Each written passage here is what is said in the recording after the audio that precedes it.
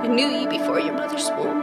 I knew you before the anger. I knew you before fatherlessness. And I knew you before the addiction. My name is Cindy Watson, and this is my story.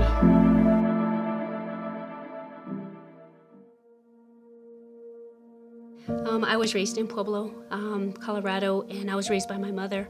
Um, my mother um, raised seven of us. Um, I have, um, she raised six daughters and, and, a son. I'm child number five, and my dad was from Pennsylvania, and my mom is from Pueblo. They would, they would tell me how I was a daddy's girl. My mom and dad used to tell us stories at bedtime, and we would go in their bed, a king size bed. We'd all lay there before bed, and I would lay on my dad's chest while he was telling us bedtime stories. And I loved him. I was a daddy's girl. I was the love child. My mom and dad separated, and they came back about five years later and had me and my siblings. And I had my mom and my dad and my all my sisters, my older sisters, and they were just giving me all the love. That was from when I was one to three years old. So I had all this love. And my mom and dad got divorced when I was three years old. And then my dad was not in my life. And so ah, that's, that was a hard time. I was fatherless. And um, I was mean to everybody. I used to beat up boys and girls. I had no friends. I was friends with boys because the girls were afraid of me. Um, and that, that went on, and it was it was really hard. Um, I put up walls. I, I had father figures, and I never let them get close because I always would tell them, "You're not my dad." And um, teachers, never liked teachers. I didn't even like my mom. I did. I would. She would tell me not to do something. I would do the opposite. Uh, my siblings, I was mean to them, and I just lived with a lot of anger. And um, that that went on for thank goodness for the church. It kind of mellowed me out a little bit, but um, at, at, about fourth grade, we weren't going to church anymore. And about fifth grade, we moved to a whole other environment, a new school, a new community, and I was I had to meet a whole, whole lot of new friends. And um, it, I, that's where I experienced some anxiety. I remember having knots in my stomach and just, again, didn't, you know, we just missed my dad still, still angry. And I found some friends. I guess they, can call them friends. And um, that's when I first, um, I was about 12, 13 years old, and that's the first time I, I tried wine and also smoked marijuana. And uh, it scared me, it scared me, but it also, um, it also numbed me out also. And I, I, didn't use it. I stayed away from it for a little bit until i got to seventh grade and i met my best friends. There's seven of them and we're still best friends today. We're on a chat and we, we hang out all the time. But during middle school we we at the end of our our um, middle school years, we were drinking already. Um, we carried it on until high school. Graduated together, and and then right about I was about 19 years old, and me and one of my best friends um, we got an apartment, and we had an apartment, and everybody used to be at my house. Everybody at our house, and it was a party. It was a party house, and we were underage, but we found a way to get alcohol. And um, right around that time, it was about 19, 20 years old. Um, it was I was my dad came back into our life. He, he moved back to Colorado. He got sick. He was um, he had COPD, and um, by April my dad was was gone, and uh, I was happy because he was saved, and he he was our conversations were about Jesus, and within that three month time, we he made up for being gone, the 20 years out of my life. So uh, he was gone though, and I was thankful that he was in heaven. But I was mad again because now I got my dad back and he was gone again. So that's where my drinking got worse. Fast forward three DUIs later. I had a really good job. I lost my job and I was depressed. I was in a really bad relationship. I lived in Pueblo West and I had a had a boat, had a car, nice cars, trips and purses and accessories, anything I wanted. And that was during my time when I was, was drinking. But that third DUI, I, I got pulled over on Lehigh and it was on my way to Pueblo West, and I was um, and I was facing the church, the church that I go to now, and I was doing the sobriety test, and, and I had a focus, and I just remember looking at the church, and I seen the cross, and I had remember had been at the church, um, and and I just I was just I, just, things felt different. Things were just different at that moment. It was it was my third DUI, and I and I just I couldn't believe it. And I got in the back of the after I took the beat my breath test, and they put me in the back of the car. They arrested me, and I was in the back of that police car, and I was sitting there. And then Christ came. Um, all I could hear was just the the uh, police walkie-talkie, the, the, the, the radio. And then all of a sudden, I just heard, I just heard Jesus.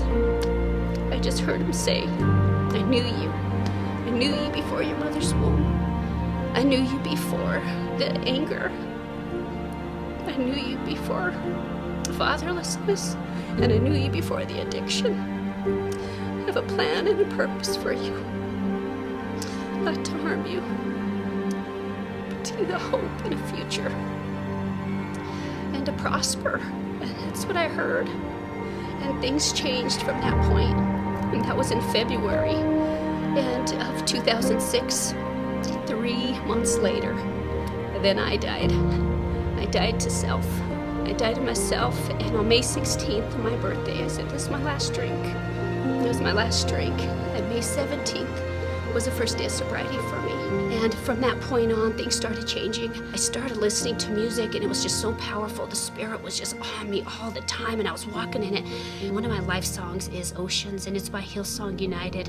And I remember being at a woman's a woman of faith, and I remember that they were playing that that song, and it was, you know, I will call upon your name, keep my above the waves. And it was music that really helped me connect uh, through the through the worship and um, it was and then being in church it was just the worship is, is my place. I'm like David and and I just I, I, I can't help but raise my hands and I can't help but sing above the crowd and, and I just I feel it. It's a welcoming of, of of the Holy Spirit to move in our life. It really is. It's welcoming the Holy Spirit.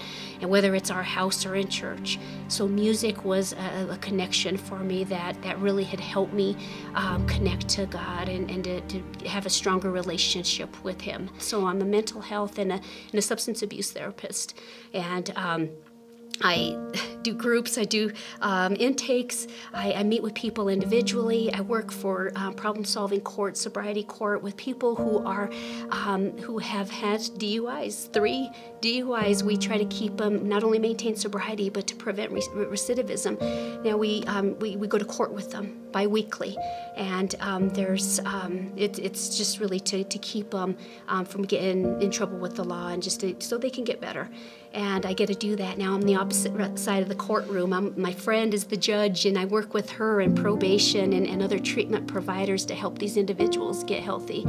And uh, it, it's just been it's been an amazing job and a calling. I'd like to say that it was my calling. You know, God has showed me purpose, and, and, and it was my calling. And He. Um, I just continue, continue the miracles I keep on seeing with clients, you know, getting better. And until we understand that it is demonic, we are not fighting against people. We are fighting against a spirit here. It's a demon, whether it's anger, whether it's it's whether it's uh, depression, whatever it is, it is a spirit, and we need to fight against that. We know the Bible says trouble is going to come. And, and why do we worry? We know it's going to happen. We need to, be, to get extreme. The enemy's getting extreme coming at us. We need to fight him and we need to go into this battle. God has given us hands and, and put us ready for battle. And we need to do that by raising our hands. And Lord, come in right now. God, I need you. When we reach out to the Lord and we're asking God to come into our life, we're not only just asking to come into our life, but the devil flees when, when we speak the name of Jesus. So it's a double thing that's going on there. Every morning when I pray, and you know, I, and that's how I fight my battles every day. I pick up my cross, and and and that's I don't pre- I prepare for the day. I don't go out spiritually naked and wait for things to happen. I'm all about preventing and preparing, and I start fresh in the morning. And I just ask God, Lord, Lord, let Your will be done, Father God. I die to self today, Lord. Let Your thoughts be my thoughts, Father God. Oh. Jesus. And, and just it just pray those prayers and, and, it's just it's just amazing what, what God has done for me. My life verse is Romans 8 28. And 8 28 says, And all things work out for the good for those who love him and who are called according to his purpose. Before Jesus, when I had this encounter with Jesus, before my life had changed, um, I was addicted. I was addicted to alcohol. I was bound to anger and, and, and sadness and, and depression. And after Jesus, um, I'm made new. I'm made new. Uh, my desires are reversed. It's all about Him. And He has just come into my life and He has given me a life that um, it's where there's peace and there's joy and there's hope and a future. And I've been sober 17 years now. And the again, the past is is is just a it's just a part of, of my story, and I know the best is yet to come. I'm just so grateful.